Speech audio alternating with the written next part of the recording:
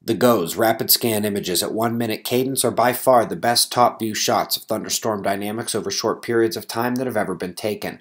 Last night, many of you saw them for the first time, and you have spoken. You want to see a bit more and get more perspective.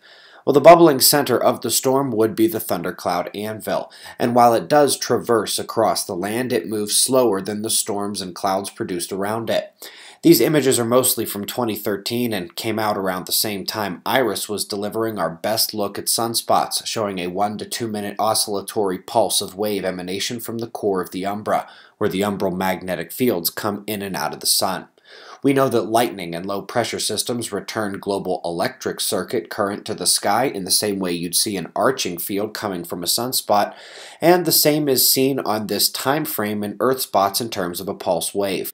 Now, you might have noticed that this is not a low pressure center, but the storms that crop up along the convergence line across the United States.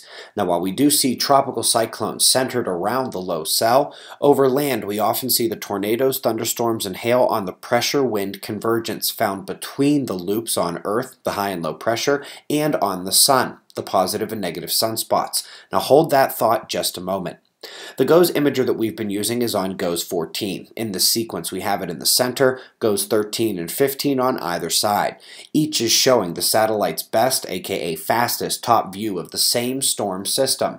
There was no rapid scanner on the earlier or later satellite, and indeed, the camera is not currently operating. It only operated a few days actually in what they called a proving phase.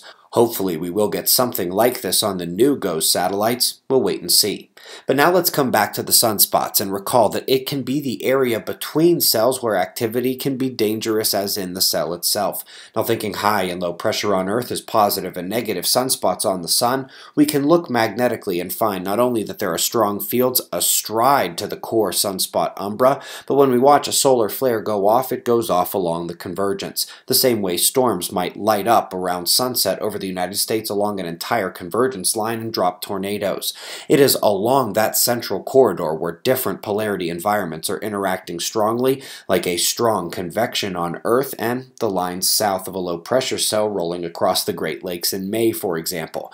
The CME does indeed release due to a destabilization of the fields connected to the leading primary spot. And big or small, sunspots are going to have this pulse with the fields connected through them. And around the sunspot umbra is found the penumbral lines all pointing back generally towards the center. This pulse and penumbral line structure is seen in many storms on Earth. Here it is easy to see in the inward facing lines and pulsing waves outward, but even in still images of large tropical storms, we can see my cursor highlighting the same type of inward pointing lines in the cloud. The most energetic storms on Earth, the most energetic storms on the Sun. Same lines, same outward waves, same currents if we compare the global electric circuit to the Sun's umbral magnetic fields.